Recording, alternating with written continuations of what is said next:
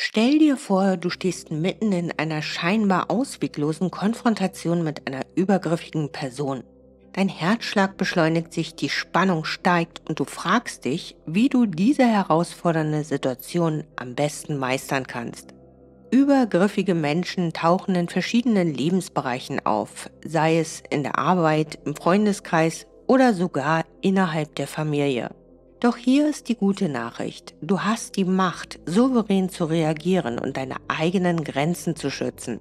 In unserem heutigen Video werden wir dir acht typische Situationen aufzeigen und genau erklären, wie du in jeder davon mit übergriffigen Menschen umgehen kannst. Bleib unbedingt bis zum Ende dran und abonniere unseren Kanal, um keine spannenden Beiträge mehr zu verpassen.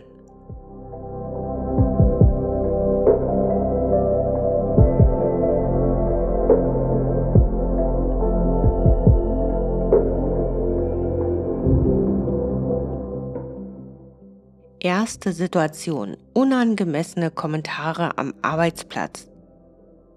Es ist Montagmorgen und du beginnst deinen Arbeitstag voller Energie. Doch schon nach wenigen Minuten am Schreibtisch bemerkst du, dass ein Kollege regelmäßig unangemessene Bemerkungen über dein Aussehen macht. Wie reagierst du nun? In dieser Situation ist es wichtig, klare Grenzen zu setzen. Gehe zu deinem Kollegen und sage höflich, aber bestimmt, dass du dich von seinen Kommentaren gestört fühlst und diese nicht akzeptierst.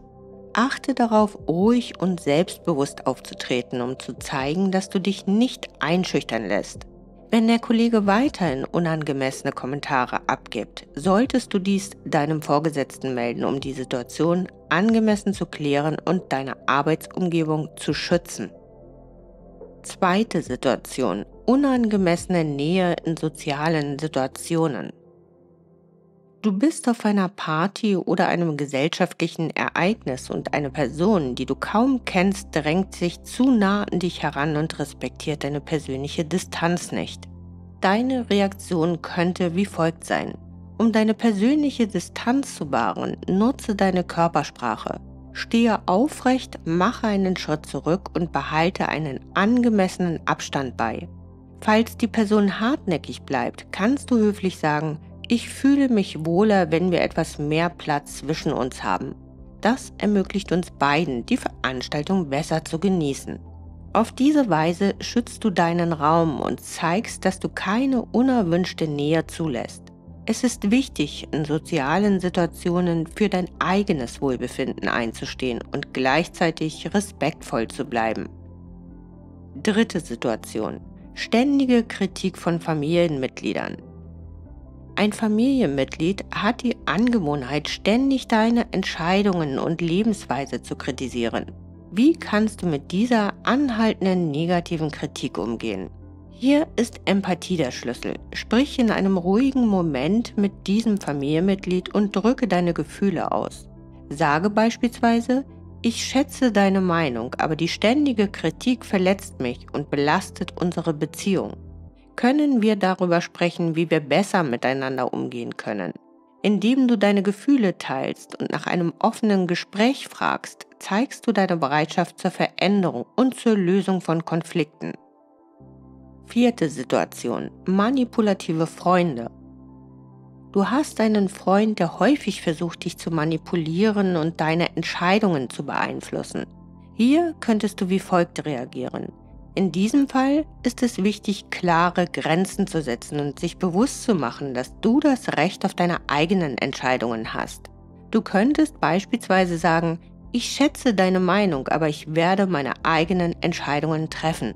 Deine Unterstützung und Freundschaft bedeuten mir viel, aber ich muss meinen eigenen Weg gehen. Halte unbedingt an deinen Prinzipien fest. Fünfte Situation. Überschreiten persönlicher Grenzen in romantischen Beziehungen. In einer romantischen Beziehung fühlt sich dein Partner oder deine Partnerin manchmal berechtigt, deine persönlichen Grenzen zu überschreiten, sei es emotional oder manchmal sogar physisch. Wie schützt du deine Grenzen in einer solchen Beziehung? Auch hier ist Kommunikation der Schlüssel. Sprich offen mit deinem Partner oder deiner Partnerin über deine Grenzen und wie du dich in der Beziehung fühlst. Wenn dein Partner deine Grenzen nicht respektiert, solltest du in Betracht ziehen, professionelle Hilfe oder Beratung in Anspruch zu nehmen, um die Situation versuchen zu klären. Deine persönliche Sicherheit und dein Wohlbefinden sollten immer oberste Priorität haben. Denke daran, dass gesunde Beziehungen auf gegenseitigem Respekt und Vertrauen basieren. Sechste Situation. Unangemessene Online-Kommunikation. Du wirst regelmäßig mit unangemessenen Nachrichten oder Kommentaren in sozialen Medien oder WhatsApp konfrontiert. Wie kannst du damit umgehen und dich online sicher fühlen? In diesem Fall solltest du so einen Kontakt, der unangemessene Nachrichten sendet, blockieren und das Verhalten den Plattformadministratoren melden. Es ist wichtig, diese Belästigung nicht zu tolerieren und Maßnahmen zu ergreifen, um deine Online-Sicherheit zu gewährleisten. Siebte Situation. Neugierige Nachbarn. Du bist gerade in dein neues Zuhause gezogen und deine Nachbarn sind äußerst neugierig. Sie stellen unaufhörlich persönliche Fragen zu deiner Familie, deinem Beruf und deinen Gewohnheiten. Wie kannst du nun reagieren, um vor allem deine Privatsphäre zu wahren? In dieser Situation ist es ratsam, direkt und bestimmt zu sein. Du könntest beispielsweise sagen, ich schätze dein Interesse an meinem Leben, aber ich bin ein eher privater Mensch und bevorzuge es, meine persönlichen Angelegenheiten für mich zu behalten. Ich hoffe, du verstehst das. Wenn die Nachbarn weiterhin neugierig sind, könntest du das Gespräch freundlich, aber bestimmt beenden und dich höflich verabschieden.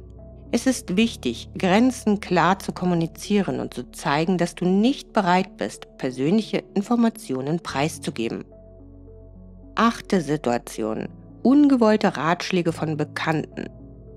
Stell dir vor, du bist in einem Café mit einem Bekannten und während des Gesprächs beginnt dieser Bekannte ungebetene Ratschläge zu deinen ganz persönlichen Angelegenheiten zu geben, sei es in Bezug auf Karriere, Beziehungen, Lebensentscheidungen oder Geldangelegenheiten. Deine Reaktion in so einer Situation könnte die folgende sein. Danke, dass du dir Gedanken machst, aber ich habe bereits eine klare Vorstellung davon, wie ich mit meiner aktuellen Situation umgehen möchte. Ich würde gerne über andere Themen mit dir sprechen. Falls der Mensch beharrlich ist, könntest du wiederholen, dass du nicht nach Ratschlägen suchst und das Gespräch in eine andere Richtung lenken. Unser heutiges Fazit. Die Bewältigung übergriffiger Menschen erfordert Selbstbewusstsein, klare Kommunikation und die Botschaft, deine Grenzen zu schützen. Diese acht Situationen sind nur einige Beispiele dafür, wie du souverän reagieren kannst. Denke daran, dass deine Sicherheit und dein Wohlbefinden immer Vorrang hat und zögere nicht, professionelle Unterstützung in Anspruch zu nehmen, wenn die Situation es erfordert. Mit den richtigen Strategien und einem starken Selbstbewusstsein kannst du deine Fähigkeiten im Umgang mit übergriffigen Menschen verbessern und ein Leben ohne ständige Belästigung führen. Vielen Dank und bis bald.